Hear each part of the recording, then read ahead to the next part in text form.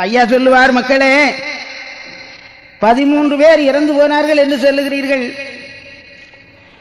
அவர்களெல்லாம் வாக்கியம் பெற்றவர்கள். தர்மயுகத்தில் நீங்க அவங்கள பார்க்கலாம். ஆனா இப்போ கண்ணு தெரியாமல் கால்கையெல்லாம் ஒட்டி முடமான நிலைகளை எல்லாம் மாற்றி தருகிறேன் என்று அந்த மக்களுக்கு மனு தண்ணீரும் கொடுத்து அவர்கள் தேகத்தை தொட்டு துடைத்து அந்த ஊனங்களை எல்லாம் மாற்றி அந்த மக்களை சுகப்படுத்தினார்கள்.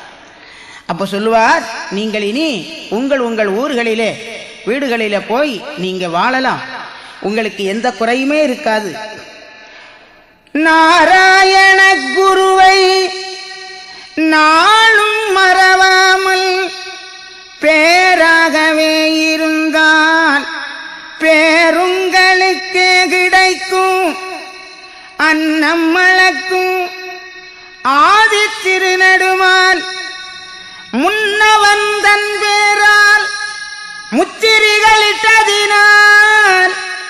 சென்ற இடமெல்லாம் சிறப்பதிகம் உங்களுக்கு.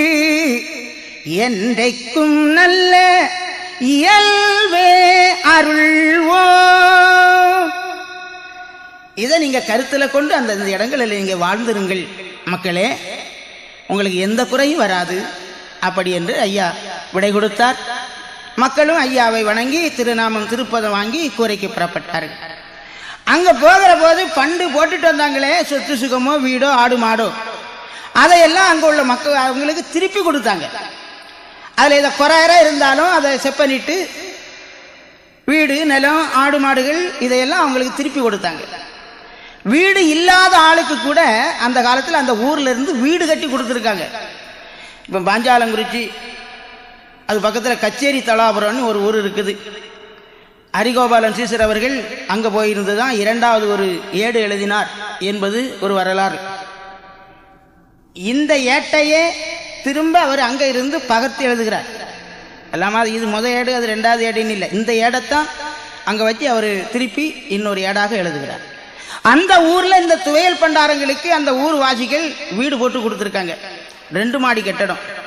இன்றைக்கும் அவங்கள கார வீட்டுக்காரங்க தான் அழைப்பாங்க. அப்படியாக அந்த துவையல் பண்டாரங்களுக்கு நாடெல்லாம் மெத்த சிறப்பு ஏற்பட்டது ஐயா பேராலே. அதில் ஒரு சில பண்டாரங்கள் ஐயா எங்களுக்கு வீடோ சொத்தோ சுகமோ மனைவியோ குடும்பமோ கிடையாது. நாங்கள் இனி ஐயா ஐயாடத்திலே இருக்கிறோம் அப்படின்னு சொன்னாங்களாம். அப்போ அவர்களுக்கு அன்னம் கொடுப்பதாகவும் இந்த அன்ன தர்மம் நாடெல்லாம் பரவலாக விரிவடைய வேண்டும் என்ற நோக்கத்திலும் துவையல் பண்டாரங்களுக்கு அன்னம் கொடுக்கிற ஒரு தர்மம் என்று ஐயா ஏற்பாடு செய்தார். ஆங்காங்கே வாழுகிற மக்கள் மனதில்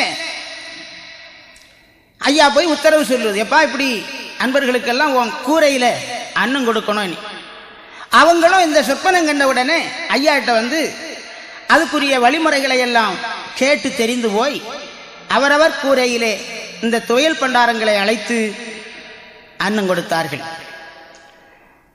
வத்தல் வகை சீனி பப்படம் பாயாசத்தோடு அறுசுவை உணவு வழங்கப்பட்டது. அங்கேயும் ஐயாவுக்கு திரு பணிவிட செய்து உகப்பாட்டு ஓதி உச்சிப்படி படித்து ஆள்களை எல்லாம் வரிசையாக உட்காத்தி ஐயா அன்னம் குடிக்க வேண்டும் என்று எல்லோரும் ஓதி உணவருந்துகின்ற ஒரு பெரும் பழக்கத்தை ஏற்படுத்தினார். அதில் அற்புதம் கூட உண்டு. அதாவது ராஜாக்கமங்கலம் பக்கத்தில் அன்னம் குடிக்க போன இடத்துல பல பேரும் கேலி பேசினாங்க அப்படின்னு சொல்லிட்டு இவங்க அன்னம் குடிக்க அன்னம் குடிச்சாச்சு அப்படின்ட்டு திரும்பி வந்துட்டாங்க. அடுத்த நாள் காலையில் அந்த ஆளுங்க ஐயாவை தேடி வருது. ஐயா நேற்றைக்கு எல்லாருக்கும் அன்னம் கொடுக்கணும்னு ஏற்பாடு. யாரும் அன்னம் குடிக்க வரல. ஐயா வருத்தத்தோடு இவர்களை எல்லாம் பார்த்தார். அதாவது பேச்சு பேசும் கிளிக்கு பின்பூனை நாட்டமுற்றால் கீச்சு கீச்சென்று கிளி கீழ் பதுங்க வேண்டியதானே என்று ஐயா அகிலத்தில் சொல்லுவார். அது மாதிரி நேற்று வந்து பொய் சொல்லிட்டாங்க. இன்னைக்கு சாட்சிகாரன் வந்து நேரடியாக சொன்ன உடனே இவங்களுக்கு மறுத்து பேச முடியல. பேசாமல் போய் அன்னம் குடிச்சிட்டு வந்தாங்களாம். அடுத்த நாள் போய் அன்னம் குடிக்கிற போது உலையிலிருந்து கீழே இறக்கி வச்சா எப்படி இருக்குமோ அதுபோல் அந்த பதார்த்தங்கள் இருந்ததாம். ஒன்று கெட்டு போகலை. காரிப்பாறை என்று சொல்லக்கூடிய இடத்துல இதை மாதிரி ஒரு அன்னம் தர்மம் நடத்த வேணும் என்று அந்த அம்மா நெல் அவிச்சு பக்கத்தில் ஒரு பெரிய பாறை வட்ட பாறை. இன்னும் இருக்காது என்ன நாட்டில் பக்கத்தில் உள்ள பாறைகளெல்லாம் இருந்த இடம் தெரியல இப்போ. அவளும் உடச்சி கொண்டு போய் கடலுக்கெல்லாம் போடுறாங்க. ஆனால் அந்த பாறை அழியாமல் இருக்குது. அதில் நெல்லை காய போட்டுட்டு வீட்டுக்கு ஒரு முறை தண்ணி குடிச்சிட்டு வருவன் இங்கே வந்தான் இங்கே வந்த உடனே மழை பிடிச்சி வீட்டில் இருந்து அவளால் அங்கே போக முடியாது. அந்த அளவுக்கு மழை. ஐயோ கடவுளே. ஐயா வேறால தர்மத்துக்கு நில நெல்லை வச்சு போட்டேன். இப்படி ஆயிட்டே. என்று எம்பெருமானை நினைந்து மன நொந்து இருந்தா. மழை வெறித்த பிறகு அங்கே போய் பார்க்கிற போது அந்த இடத்துல நெல் எந்த அளவுக்கு போட்டிருந்ததோ அதை சுற்றி ஒரு களை அளவு மழை துளியே விழல அப்படி அந்த நெல் உணர்ந்து போய் கிடந்ததாம் இப்படி அந்த துவையல் பண்டாரங்களுக்கு அன்னம் கொடுக்கின்ற அந்த இடங்களிலெல்லாம் ஆங்காங்கு பல அற்புதங்களை ஐயா நடத்தியிருந்தார்கள். இப்படியாக பாங்கான துவையல் பண்டாரங்கள் எல்லாம் பூங்காரமாக பிச்சை அமுது கொண்டிருந்தார்கள். அடுத்தபடியாக இனி ஐயா தாம் இருந்த ஒரு வருட குறைதவத்தையும் செவ்வனே நிறைவு செய்கிறார்கள். அப்படி நிறைவு செய்த அந்த மகனுக்கு இனி நாட்டிலே நடத்தக்கூடிய காரியங்களை எல்லாம் விஞ்சையாக அருளி செய்ய வேண்டுமே. அதன் காரணமாக மகனை நாம் முட்டப்பதிக்கு வரவழைக்க வேண்டும். முட்டப்பதி பால்கடலுக்குள்ளாக வைத்து இந்த விஞ்சையை கொடுக்க வேண்டும் என்று நாராயணமூர்த்தி ஈஸ்வரர் முதலான தேவசங்கத்தோடு அந்த முட்டப்பதி பால் கடற்கரையிலே தீர்த்த கரையிலே வந்து அமர்ந்து கொள்ளுகிறார்கள். அங்கு பள்ளி கொண்டிருந்து இரண்டு முனிவர்களை அனுப்பி வைக்கிறார்கள். முனிவர்களே என்னுடைய மகன் தவம் நிறைவு செய்து விட்டான் ஆறு வருட அருந்தவத்தையும் பூர்த்தி செய்து விட்டான் இதற்கு மேல் அவன் நடந்து கொள்ளக்கூடிய முறைகளை அவனுக்கு உபதேசமாக சொல்ல வேண்டும். எனவே நீங்கள் இரண்டு பேரும் போய் அந்த மகனை நான் சொன்னதாகவும் நாங்களெல்லாம் இங்கே வந்திருக்கின்ற விவரத்தையும் சொல்லி அழைத்து வாருங்கள் என்று சொல்லி அனுப்பி வைக்கின்றார். இந்த படியே இவர் வாழும் நடையிலே. சொந்த திருமால்க்கு சுவாமி உரைத்தபடி. ஆண்டாறு சென்று அதிக தவம் மதுதான் உண்டாய் முடித்து குருநாத கண்மணியும். இனி நாம் செய்யும் இயல்பு என்ன என்று சொல்லி. மனித நன்றான முட்டப்பதிதலத்தில் நரணரும். மன்றாடும் நல்ல வாய்த்த பரமேசுரரும். வேத பிரமன் விளங்கும் மறையோனும். நாதரிசி மாறும் நல்ல சங்கத்தோர்களும் சக்தி உமையும் சரதுபதி மாதும் வித்தை முகத்து வேள முகத்தோனும். எல்லோர்களும் வந்து இருந்தார் கடல் அருகே. அல்லோர்களும் வந்து அங்கே இருந்து கொண்டு. ஏற்ற முனியில் இரண்டு பேரை வருத்தி சித்தமுடனே திடீரெனவே நீங்கள் சென்று நம்முடைய பாலன் நல்ல வைகுண்டரையும் எம்முடைய அருகில் இப்போ கொடு வரவே. சொல்லி சுவாமி தானன்றி சொல்லி. நல்லியல்வாய் சொல்லி நாரணனைங்களையும் வாருங்கோ முனியே வாய்த்த தவத்தோரே. சேருங்கள் அங்கே. திடீரெனவே இப்போது. என்று விடைகள் இருவருக்கும் கொடுக்க. அன்றி முனிகள் அவ்வாய்வு போல் விரைவாய். கடிதாய் நடந்து கரியமால் நல்தவசு. முடிவாக செய்த முகுந்தன் பதியில் வந்தார். வந்தனர் வைந்தர்வாதம் மலரினை முனிமார்கண்டு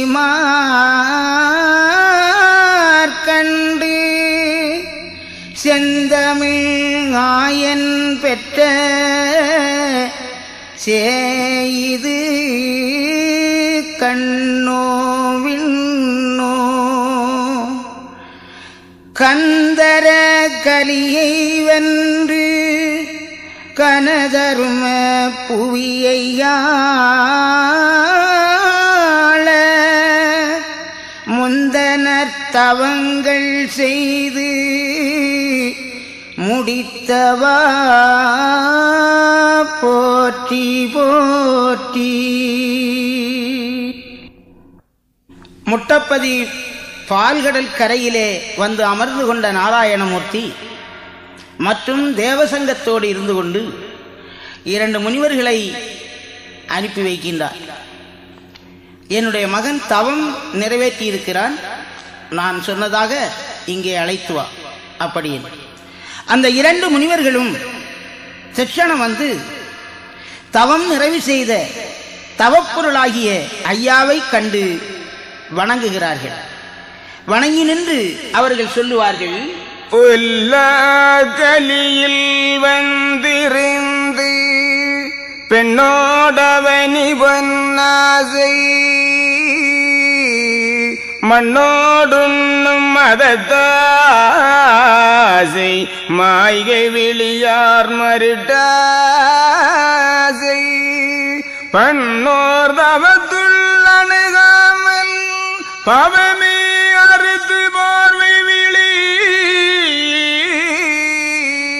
கண்ணோ ஞான கருவிருத்தி கண்டாய் பொருளை கண்டாயே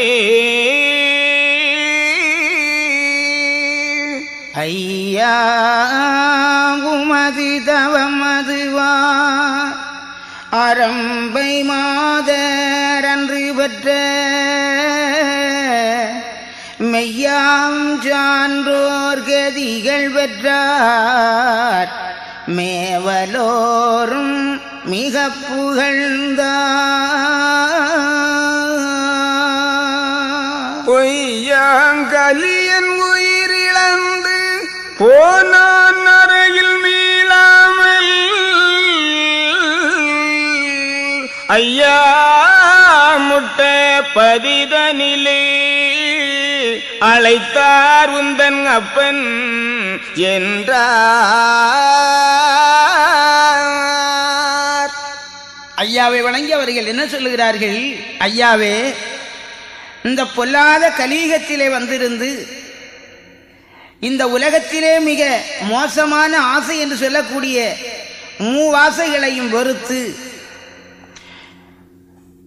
பெண்ணாசை பொன்னாசை மண்ணோடு உண்ணும் மதத்தாசை.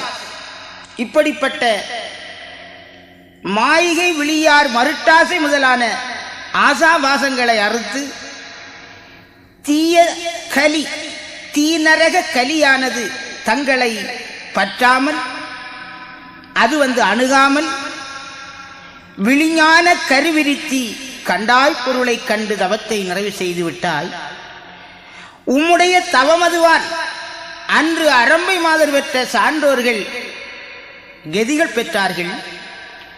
இதை தேவர்களும் உணர்ந்து ஆனந்தப்பட்டார்கள்.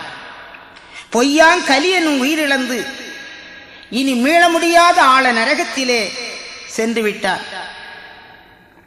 எனவே உம்முடைய தவத்தை புகழ்ந்து மெச்சி அப்ப நாராயணர் தங்களை முட்டப்பதிக்கு அழைத்து வர வேண்டும் என்று எங்களை அனுப்பி வைத்தார். ஐயா நீ புறப்படலாம் என்று அவர்கள் வேண்டிக் கொண்டார்கள். அப்பா அழைத்தார் என்ற சொல்லை கேட்டு வைகுண்டராஜர் ஆனந்தப்படுகிறார்.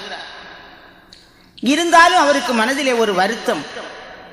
கொஞ்சம் சங்கடமும் அடைகிறார். அது இங்கே என்ன சொல்லுகிறார்? அழைத்தார் எனவே சொன்னவுடன் ஆதிமுனியை மிகம் நோக்கி பிழைத்தார் போலே மனம் மகிழ்ந்து. பின்னும் முனியோடுரை பகர்வார். இழைத்த கலியின் உள்ளிருத்தி என்னை கலியன் செய்தவளு. சளத்தம் அறிந்து வந்தாரோ?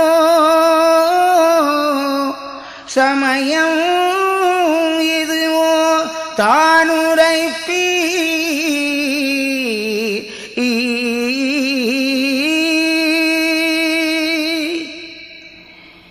ஏன்னா அவருக்கு இப்பொழுதுதான் ஞாபகம் வந்ததா? நேரம் கிடைத்ததா?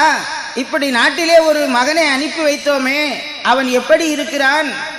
என்ற நிலையை அவர் இது நாள் வரையிலும் எண்ணி பாராதவர் போல இருந்துவிட்டு இப்பொழுதுதான் தருணம் கிடைத்ததோ?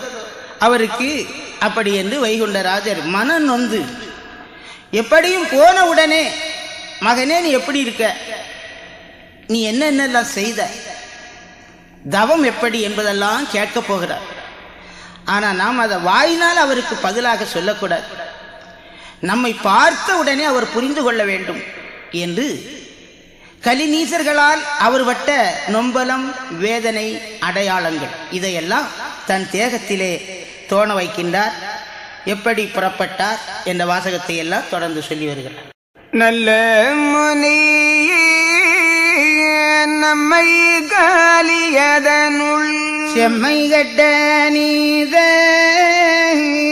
தீபாவி கையதிலே. கண்ணிட்டு வைத்து கடக்க நான் கண்டிருந்த. புண்ணியவான் என்று விளைத்து கூறித்தாரோ. நான் பட்ட பாடு நடுபதி நலறியும். ஏன் பட்டாய் என்று இன்று கேட்க வந்தாரோ? ஏதோ தெரியல்லையே என்னுடைய நாயகமே. பாதகந்தான் செய்த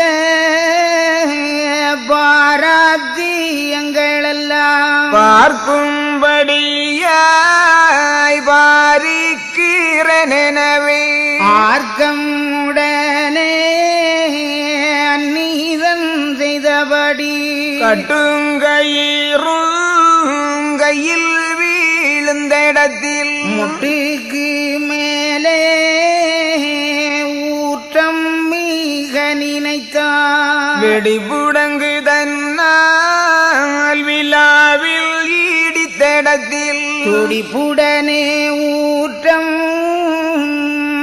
தோன்றும் பாடிய வைத்தான் மேலில் விரம்பால் மிக்க ஆடித்தடத்தில் சீலம் உடனே சீனம் தோண வைத்தனரே. கண்ணமதில் கம்பால் கனக்க ஆடித்தடத்தில் உன்னிதமாக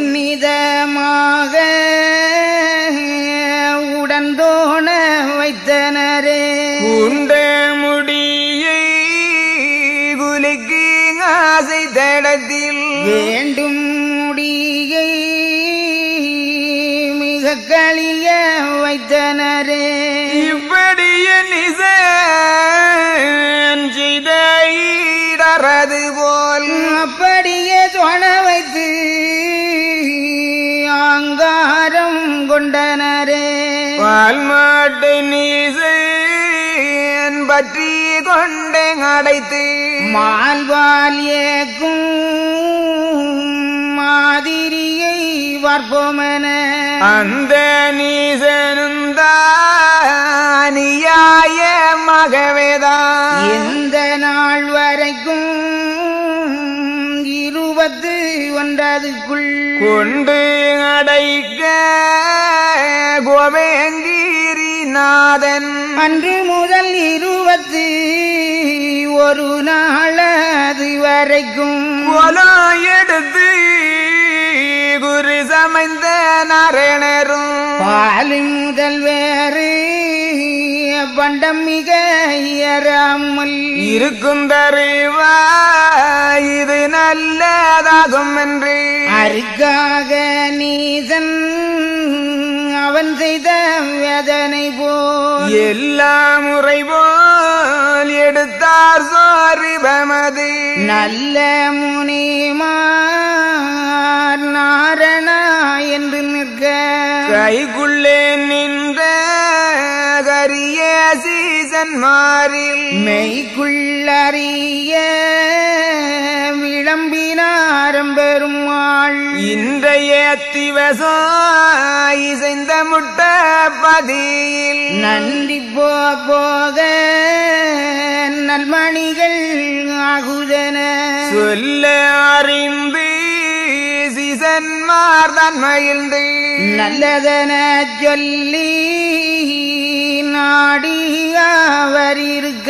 அன்று ராதனில் யாரும் அறியாமல் நன்றினிய சீசன்மார் நாலு பேர் தான் அறிய வந்த முனியும் வளர்ந்த இரு முனியும் சொந்தமுடன் நாதன் தொட்டில் மீக ஏறி சீசன்மார்காவி சினமாய் மிக நடக்க வாசமுள்ள மாமுனிவர் வலமிடமும் சுழ்ந்து வர துடியாக தொட்டிலில் சுவாமி மிக இருந்து வடிவான முட்ட பதிதளத்தில் வந்தனரே. முட்டப்பதியில் முகுந்தன் ஹரிநாதன் கிட்ட வருகும் கிருஷ்ணர் வந்து சேர்ந்திடவே. மகனை மிக கண்டு மாவிருப்ப தொடிலகி உகமாள வந்த உடைய மகனே உனது. சடமெல்லாம் வாடி சடைப்பானேன் என் மகனே. வடவெல்லாம் என்னோடு வகுத்துறை நீ என்றனராம். கண்ணே மணியே கருத்து உள்ள நாயகமே. விண்ணே ஒளியே வேத தீருவிளக்கே கலியில் மிக இருந்து கலக்கோ அடைந்த மெலிவெல்லாம் சொல்லி விளம்பு நீ என் மகனே. நல்ல முனியே நம்மை கலியிலே இருத்திவிட்டு இந்த செம்மைகட்ட தீபாவி கையிலே பிடித்து கொடுத்துவிட்டு கடக்கே நகண்டிருந்த புண்ணியவான் இன்றுதான் பிழைத்து குதித்தாரோ? நான் பட்ட பாடு இந்த நாடெல்லாம் அறியும். ஆனால் மகனே இந்த தொல்லையெல்லாம் உனக்கு எப்படிப்பா வந்தது என்று ஒரு நாள் அவர் வந்து கேட்டாரா? இன்றைக்குத்தான் அவருக்கு ஞாபகம் வந்தது போலும் அவரிடத்தில் போய் நடந்த விவரங்களை வாய் திறந்து நாம் சொல்லக்கூடாது. நடந்தது நடந்தபடியே உடம்பிலே தோண வைக்க வேண்டும் என்று எண்ணங்கொண்ட எம்பெருமான் ஆறுகால் தொட்டிலே அவிழ்ந்த துணியோடு இருக்கின்ற உபாயத்தை கூட அறியாத நீசர்கள். ஓடி வந்து அவரை பிடித்து இழுத்து தரையிலே தள்ளி அலக்களித்த விதத்தை எல்லாம் தோண வைக்கிறார். தலைமுடியை அசைத்து குலுக்கி அவரை பிடித்து இழுத்த போது குத்தாக அந்த முடி கழிந்து விட்டது. அதை அப்படியே தோண வைக்கின்றார். காலுக்குள்ளாக போட்டு அவரை அடித்து உதைத்து சாட்டையால் வீசி வெடிப்புடங்கால் இடித்து அப்படியெல்லாம் வேதனைகள் செய்தபோது சாட்டைப்பட்ட இடத்திலே இரத்த காயங்களும் வெடியால் இடித்தபோது ஏற்பட்ட ஊற்றங்களும் கம்பு கொண்டு அடித்தபோது ஏற்பட்ட தணப்புகளும் நூல் கயற்றால் கையை கட்டி இறுக்கிய போது அதில் உள்ள அடையாளங்களும் கன்னத்திலே கம்பு கொண்டு குத்திய போது ஏற்பட்ட வேதனை நோவு நொம்பலம் இப்படிப்பட்ட அந்த அடையாளங்களை எல்லாம் உடலிலே தோண வைத்துவிட்டு நீதர்கள் அவரை கொண்டு மூன்றே முக்கால் மாதம் சிறை தண்டனை கொடுத்து என்ன வேதனை செய்தார்களோ? அன்பாக மக்கள் ஐயா வேலைக்கு பால் எடுத்து சாப்பிட வேண்டும் என்று பால் பசு கொண்டு கொடுத்தார்கள். அந்த காலத்திலே இந்த தாழ்ந்த சமுதாயம் என்று சொல்லப்பட்ட மக்கள் எல்லாம் பசுமாடு கட்டி வளர்க்கக்கூடாது அவர்கள் பால் எடுத்து சாப்பிடக்கூடாது என்ற ஒரு அதிகார சட்டம். எனவே அன்றிருந்த நீசர்கள் உனக்கு எதுக்குடா பசுமாடு? நாங்க கொண்டு போறோம் நீ கொண்டு போய் அவன் கொட்டறையில அடைச்சிடுறான். அதிலிருந்து இருபத்தி ஒரு நாள் ஐயா எதுவுமே சாப்பிடாம இருந்தார். அந்த நிலையில் அவருடைய உடம்பு எப்படி ஆகியிருக்கும் அதையும் இந்த அடையாளங்களோடு தோண வைத்து அங்கிருக்கிற மக்கள் யாருமே இதை இப்பொழுது அறிய வேண்டாம். அப்படி என்று திருவுள்ளங்கொண்ட ஐயா நன்றினிய சீசன்மார் நாலு பேர் மட்டும் மனதுள் அறியும்படியாக குறியாக அவர்களுக்கு எடுத்துச் சொல்லி அந்த நான்கு சீசர்மார்களும் ஐயா இருந்த தொட்டிலை தோளிலே காவிக்கொள்ள வந்த இரண்டு முனிவர்களும் சாட்சியாக பார்த்திருந்த இரண்டு முனிவர்களும் வலமும் இடமும் சூழ்ந்து வர தொடியாக தொட்டில் மிக ஏறி வடிவான முட்டப்பதிதளத்திலே ஐயா வருகிறார்கள். மகன் நொந்து போய் வருகிறான் மன வேதனையோடு வருகிறான் கோபப்பட்டு வருகிறான். நாம் அதை அதிகப்படுத்திடக்கூடாது. அந்த கோபத்தை அந்த நொம்பலத்தை நோவ மன வேதனையை ஆற்ற வேண்டும் தணிக்க வேண்டும் என்று நாராயணமூர்த்தியே ஓடோடி வந்து மகனே வா வந்தாயோ? என்று கட்டி அணைத்து கொள்ளுகின்றார். அப்படி கட்டி அணைத்தவர் திடீரென்று அவரை பார்த்து கேட்கிறார் மகனே உன்னுடைய உடம்பெல்லாம் இப்படி வாடி இருப்பதின் காரணம் என்னப்பா? வடவெல்லாம் என்னோடு சொல்லு. இந்த பாடு வடித்து விட்டது யார் உன்னை? கலியில் மிக இருந்து கலக்க மிக அடைந்த மெலிவெல்லாம் என்னிடத்திலே சொல்லு மகனே. கண்ணே மணியே விண்ணே ஒளியே வேத திருவிளக்கே என்றெல்லாம் மகனை புகழ்ந்து இந்த சம்பவத்தையும் கேட்டவுடனே அப்பா நம் பேரில் எவ்வளவு அன்பும் பாசமும். நம் பேரிலே அவர் அழியாத நம்பிக்கையும் வைத்திருக்கிறாரே. நாம வருத்தப்பட்டுட்டோமே என்று அந்த வைகுண்டர் மனதில் இருந்த கொஞ்சம் வேதனை அப்படியே மாறியது. ஆமா மகனே நீ இத்தனை நாள் இந்த நாட்டில் என்ன செய்த? நான் சொல்லிவிட்ட பிரகாரம் ஆறு வருட அருந்தவத்தை நீ நடத்தினாயா?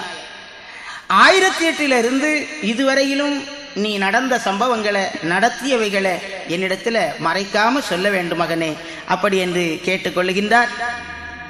அப்போ தந்தையினுடைய பாதங்களை வணங்கி வைகுண்டராஜ சொல்லுகின்றார். அடித்ததாரி உன்னை அவனிதனில் பெயன் என்று கடுத்தம் அது செய்த கலக்கமெல்லாம் சொல்லு என்றார். சொல்லென்ற மானும் சிவமும் எடுத்துரைக்க வல்ல பலமான வைகுண்டரதுரைப்பார். செந்தூர் கடலில் ஜகலதுக்குள் என்னை வைத்து முந்தைய எனக்கு மொழிந்த உபதேசம். தப்பாமல் ஆறு வருடம் தவதாக மெய்ப்பாவின் வளர்ந்தி வீடு சொத்து எண்ணாமல். கலிகாசி ஆசை கனவில் நினையாமல். அலிக்கான பெண்ணின் ஆசை அணுகாமல். பக்க கீழையாதை பாவீட்டினிதாதை அக்கத்தின் ஆசை அனுப்போல் நினையாமல்.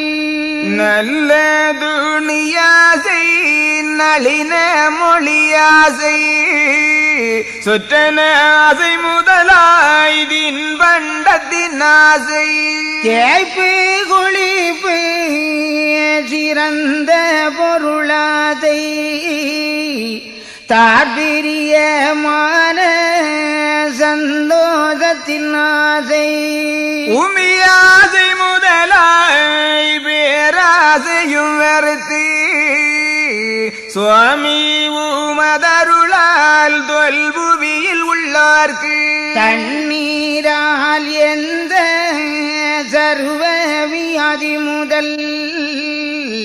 மண்ணிலுள்ளோர் யார்க்கும் வாய்த்த தர்மமாகவேதான் நோய் தீர்த்து வைத்ததல்லால் நீட்டம் ஒரு காசறியேன். வாழ்வில்லா பேர்க்கு வாழ்வு மிக கொடுத்தேன். தாழ்வடைந்தோர்க்கு தாழ்வை விலக்கி வைத்தேன். பிள்ளை இல்லாவேற்கு பிள்ளை மிக கொடுத்தேன். கள்ளமெல்லாம் நீக்கி கழிவை வரத்தை வைத்தேன்.